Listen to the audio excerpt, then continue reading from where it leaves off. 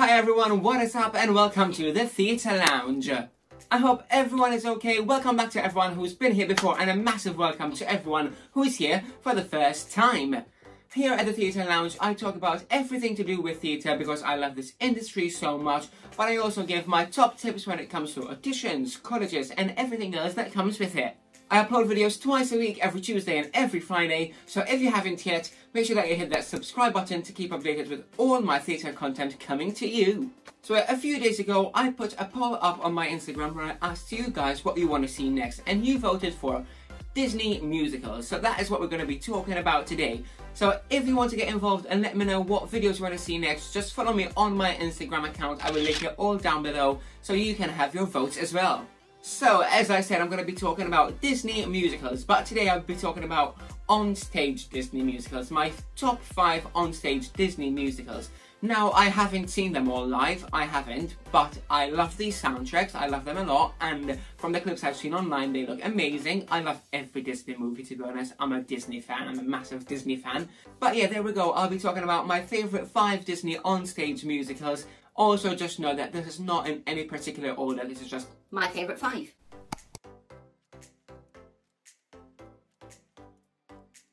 So, as I said, I love all Disney movies, but there's a couple of musicals that I love a bit more. So the first one has to be Tarzan.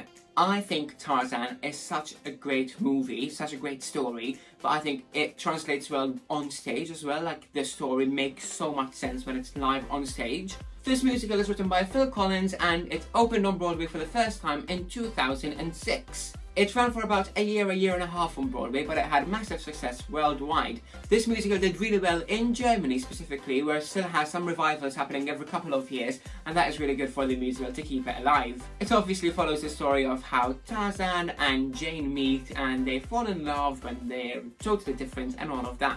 You get the story, you know Tarzan, and that's what it's about. Fun fact about this musical, this is the only Disney musical that didn't have a tryout off Broadway first, it just went on straight to Broadway and was a success. There's quite a lot of good songs from this show, so I will link a playlist down below of some of the songs from these musicals that I'm going to mention, so you can just have a listen to them as well. So let's move on to the next one. This one, I don't think it gets the love it deserves. I've made a full video about underrated musicals, and I really wanted to include this one, but I thought if I do a Disney musical video, I would probably include it in there.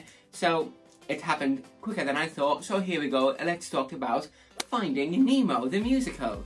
This live puppet musical show opened in 2006 at Disney's Animal Kingdom and was written by Robert Lopez and Kristen Anderson Lopez.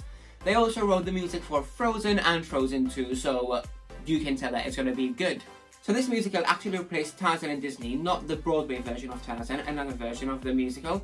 Yeah, so that closed, and in that theatre then became Finding Nemo. It's a lovely story, I think it's captured really well. It's a, quite a short musical, it's 40 minutes long, and 32 minutes of them is music. But the puppetry is amazing, the costumes are incredible, the colours, everything was so good. I actually watched this in 2009, and as a kid, I was impressed. I was blown away, I was like, oh my god, I never thought I would see Nemo on stage, but I did, and I think for that, all the kids that go to Disney and watch this musical, I have such a nice experience with it. The music is so well written, like the story follows through so brilliantly and falls into place so nicely as well.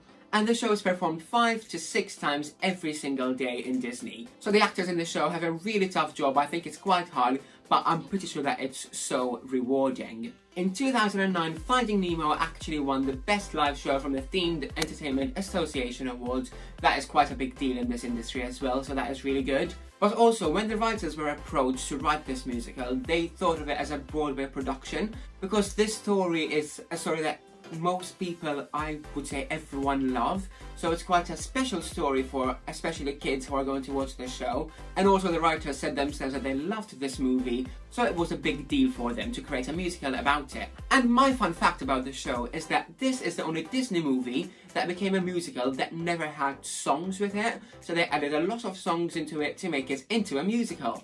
Now for a bit of a darker musical, based on the 1800s Victor Hugo novel and the 1996 Disney movie, this one is The Hunchback of Notre Dame.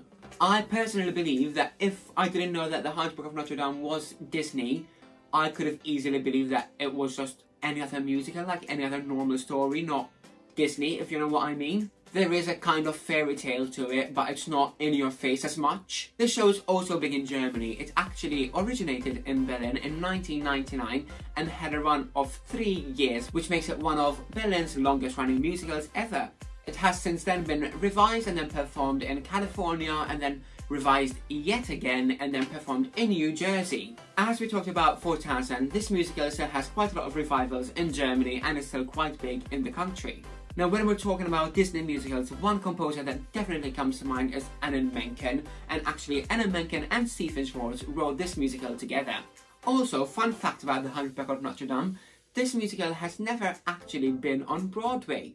It's performed in the US, it's performed in Sweden, it's performed in Germany, but it never actually hit Broadway yet. Let's make that happen. Right, let's move on to the next one, and my next top 5 Disney musical has to be Frozen. I actually haven't seen this one live yet as well, but the soundtrack is absolutely phenomenal. The story isn't captured so well, but you can tell that on stage it's kind of different and there's quite a lot of different things to it, but it's still true to itself, like the story still makes sense as the Frozen we know. This show, just like Finding Nemo, was also written by Robert Lopez and Kristen Anderson Lopez, which makes sense as they wrote the music for the Frozen and the Frozen 2 movies, then they carried on and did the Frozen musical. Although this musical premiered in 2017 in Denver and then hit Broadway in 2018, it was actually in works for quite a long time. It's been rumoured that the show actually started being written way before it hit Broadway, Yes, there's some speculations that this musical was in the works before the first ever Frozen movie was even premiered. So that makes it about four years in production before it's actually opened for the first time, so that explains why this show is actually such a great show. It should be opening in several other places. It should be opening in Australia, in Germany, and also should be hitting the West End later on this year. It should be performing at the Drury Lane Theatre, and I'm so excited because the last show I saw there was 42nd Street and I'm pretty sure that this Frozen is going to be totally different, the opposite of what I saw there and I'm going to be so excited to actually go and watch it. If I manage to get tickets. Also, side note, can we just say that Samantha Barks is going to be Elsa and I am so excited for that because I love her to bits. I think she's an incredible actress and I can't wait to see her in it. But every rose has its thorn and unfortunately it's been announced that Frozen will not reopen on Broadway after this global pandemic is over which is very sad for the show. But don't you worry because there's a US tour so this musical is still going to be live around the country as well. There are a couple of minor changes to this musical from the movie that we know and that makes it really interesting because we see deeper characters, the story is deeper, you get to know more about Elsa and Anna and I think that is really good. There's new songs like Monster which everyone knows and it's such a great song. There's live puppetry with Olaf and there's also an entire scene with Oaken. Woohoo! Big summer blowout? But one thing that I'm really looking forward to actually see is that this musical has a narrator and I think that is going to make the story like pop out so much more that someone is reading the story and making it feel more like it is a fairy tale so that the Disney element of it is still so alive. I'm really, really excited to actually watch this and I can't wait. And don't worry because probably as soon as I watch it, a video will be up on here about it and I literally cannot wait. But right, let's move on to my fifth musical in this top five list and that has to be Newsies. This one is also written by Alan Menken by instead of Stephen Schwartz, he's written this with Jack Feldman. It's obviously based on the Disney movie Newsies, but in return, that was inspired by the real life newsboy strike in 1899 in New York City. It was premiered on Broadway in 2012 and had just over 1,000 performances, but then it also went on tour. It was an incredible cast in this show as well, so make sure that you listen to the soundtrack, which I will include in my playlist below as well. So it, it's beautiful, like the story is so well written, so well translated onto the stage, and I think that is incredible. You can also watch this entire musical on Disney Plus at the moment, so if you've got that, make sure that you give it a watch because it is really worth it. My fun fact about this show is that it actually cost about $5 million to stage this production, but they made all the money back within seven months of opening, making it the quickest Disney Broadway musical to ever make a profit. And I'm so glad that they added extra songs to the musical because my favourite song is actually Letter from the Refuge, which Crutchy sings, and I think it's such a beautiful song, such a great song for Crutchy, like it describes him so much, it's beautiful, and yeah, I love it. But there we go, those are my top 5 Disney on-stage musicals, but there are a couple more musicals that I love and I can't not mention, and these are The Little Mermaid and obviously Aladdin. I think they're both brilliant shows from the clips I've seen online and everything, they are incredible. I've actually seen Aladdin live as well, which I really enjoyed, but yeah, there we go.